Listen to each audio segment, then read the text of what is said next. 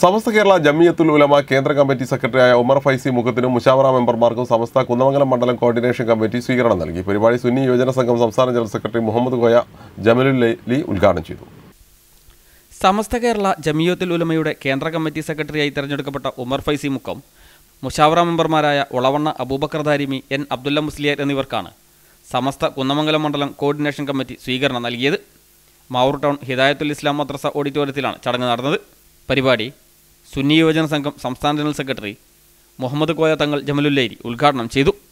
അബൂബക്കർ ഫൈസി മലയമ്മ അധ്യക്ഷനായി. സുന്നി മഹൽ ഫെഡറേഷൻ ജില്ലാ president R V Kuttihassan Darimi S K S S F സംസ്ഥാന general secretary Rasheed Faizy Vellayikode എന്നിവർ അനുമോദന പ്രസംഗം നടത്തി. ഒ പി അഷ്റഫ് കുറ്റിക്കടവ് ആമുഖ പ്രഭാഷണം നടത്തി. സമസ്തയുടെയും കീഴ്ഘടകങ്ങളിലെയും സംസ്ഥാന ജില്ലാ നേതാക്കളായ K P Koya R V Abbas Darimi C A Shukoor master K T Abdurahiman Darimi Deewar Asain Haji K. M. A. Rahman തുടങ്ങിയവർ ചടങ്ങിൽ സംബന്ധിച്ചു. News bureau Mavoor.